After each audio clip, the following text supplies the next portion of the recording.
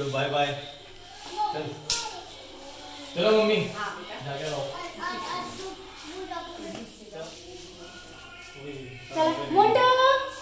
अच्छा जल्दी आ जाओ। मैंने फ़ोटो ना मुझे पाठा इधर। मोती तक टी टॉटी टी टू ये। टुपली देखो टुपली देखो। टुपली देखो। ए गुड। इसको भी हाथ कर दो। अरे इसको भी हाथ कर दो। ऐसे जाओ इसको भी हाथ कर दो। बोलो मैं जाके आती हूँ। ठीक है। नीचे रख दो। नीचे उतर दो नीचे उतर दो। चलो। बस चलो। Bye bye Simba. Let's go bye Simba. Jacu bye bye. Mister Firoz Khan आए थे हमको। ड्रॉप करने की और अभी फिर से लेने के लिए। अभी यही ड्रॉप करेंगे। मुझे बहुत लाइट आ रही है चलो ठीक है। Bye bye jumper bye bye चलो सर जाते अच्छे से हैं घूम के हाँ हाँ चलो। ए। बूंदी बर्दा के कॉल करना। बूंदी बूंदी हट बाय बाय गेट बंद कर दो अंदर हैं? है कर देती हूँ।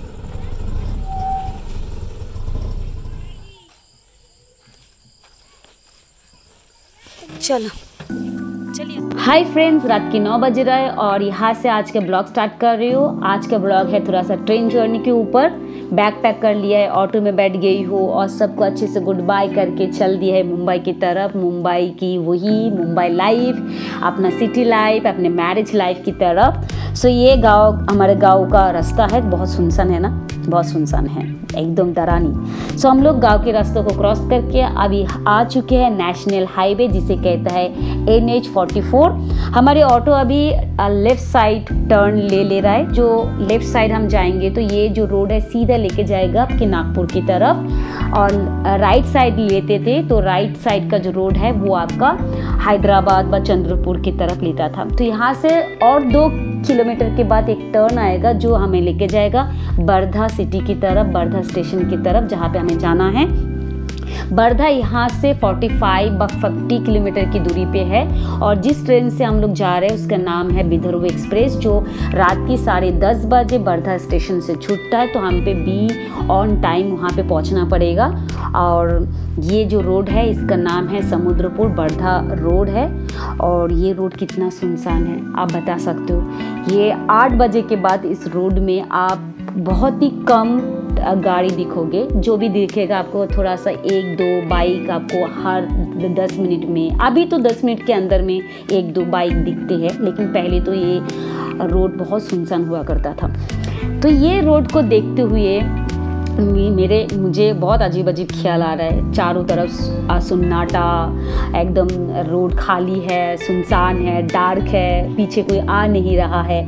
तो ये जो एक्सपीरियंस है ना मेरा पहला एक्सपीरियंस है। पहला लाइफ का पहला एक्सपीरियंस ऑटो राइड है, जिसमें मैं बैठी हूँ। रास्ता बहुत सुनसान है, खाली है डार्कनेस है।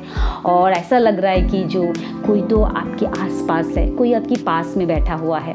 तो ये ऐसा एक सिचुएशन को देख के ना दिमाग में ऐसा आएगा कि कि भूतों वाली, ठीक है, भूतों वाली जो ख्याल आएगा।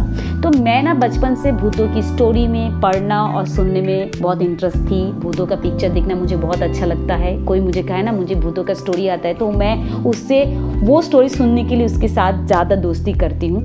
तो मैं इसी ख्याल को लेकर मैं अंकल से बात करना शुरू कर दिया कि, अंकल, क्या आपको भूतों की स्टोरीज में व भूत पे विश्वास है। तो ऐसे करते करते अंकल ने भी दो तीन चार ऐसे भूतों की स्टोरीज जिसको कहते हैं हम लोग इंग्लिश में घो स्टोरीज शेयर किया है। मैंने भी अंकल से रियल घो स्टोरी शेयर किया है जो रास्ते के ऊपर बेस है। अम, जो मैं आप लोग इंटरेस्ट हो ऐसे स्टोरी के ऊपर तो ज़रूर बताना मैं आप लोगों के साथ शेयर करूँगी। जो जो रास्ता जो है ये तो आपकी मंजिल तक पहुंचाता है, लेकिन हर रास्ते की एक अलग अलग कहानी होता है। किसी को ऐसे भूतों वाली फीलिंग आएगा, भूतों से आमना सामना होता है। किसी की जो रोड ट्रिप होता है, बहुत सुखद होती है। ऐसे आपकी हर रास्ते की एक अलग कहानी, अलग पहचान होती है।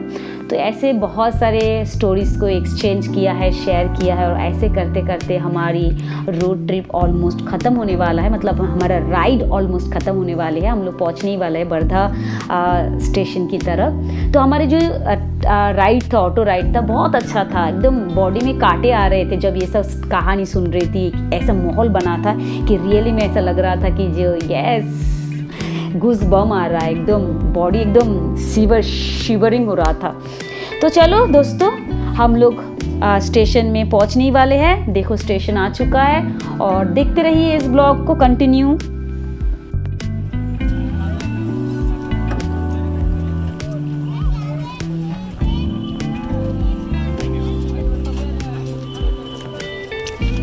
uncle ji bye bye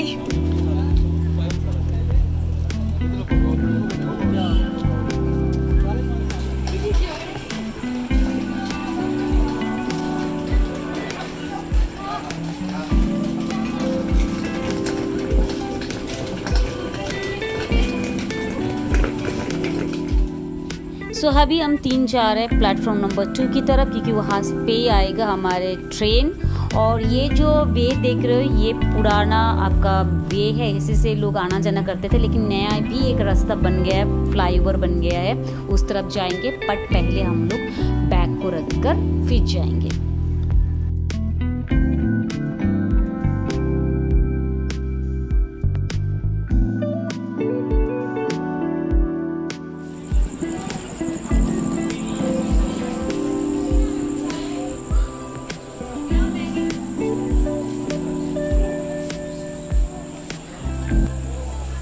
तो दोस्तों, मैं बर्धा स्टेशन की टिकट ऑफ़िस के पास में हूँ और ये देखो, बहुत ऊँची बिल्डिंग है और ये न्यू बिल्डिंग है। पहले एक ओल्ड बिल्डिंग था जहाँ पे हम लोग अपने ऑटो से उतरे थे, उसके पीछे ही था, जहाँ से हम लोग एंट्री लिए थे, उसके पीछे था, लेकिन ये न्यू है, जो कोरोना के बाद इसको ओपन किया गया है। एंड बाहर से देख के ऐसा नहीं लगता कि ये टिकट हाउस है।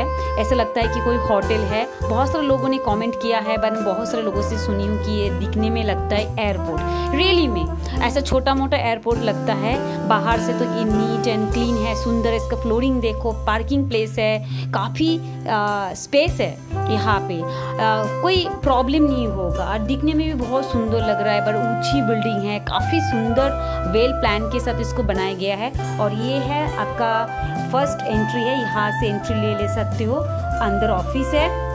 आपको सारे टिकट की इंफॉर्मेशन टिकट तत्काल टिकट आपका प्लेटफॉर्म टिकट सब कुछ मिल जाएगा।